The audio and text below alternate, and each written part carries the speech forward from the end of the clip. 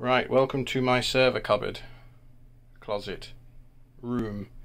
Uh, interesting thing to show you with PiKVM today. Uh, I have a Raspberry Pi 4 here, the 2 gig model, but it's not very important. This is the HDMI to CSI bridge. This is the star of the show. This is an HDMI 4 port, uh, there we go, 18 gigabytes a second, that's important for 1080p KVM switch. Now this this is pretty cool. So uh, we have the server down the floor down here connected to this switch, two cables. You have HDMI port and a USB port, and then connected to this system here, we have another HDMI and another USB. Coming out of this box, we have two cables. This white one, which goes into uh, the power unit over here. So this is the Pi KVM USB power splitter. So this is how the uh,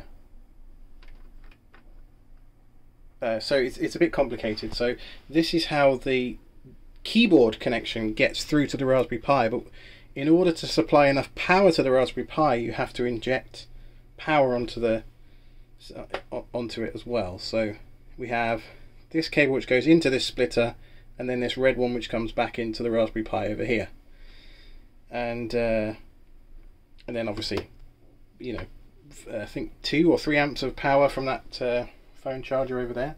Now where it gets really interesting is this is this is PiKVM right? This this is pretty cool. We've we've hopefully all seen this at this point but it lets you do all sorts of cool stuff with keyboard video mouse you know as if I was actually in front of the computer but in a web browser. Now, what's particularly cool about this whole setup is I can do Control Control 2 and it will switch. This uh, KVM switch down here switches to my Blue Iris box over here. so I only need one Pi KVM to control theoretically up to four servers now uh, if I'm willing to just do control control 1, control control 2, 3 or 4 to switch between the various things and there you go you can see I've just switched between Linux and Windows that way. That's it. I'll try and put a link to this uh, unit in the description. It's off Amazon so it's not hard to find. That's uh, that's the SKU for you. Here's the back of the box. Uh, that's a bit more information about the wiring that way if that helps you understand hopefully this will help you find out what it is but uh, I think this is the coolest thing ever. PiKVM was already awesome but it's now even more awesomer. Alright have a nice day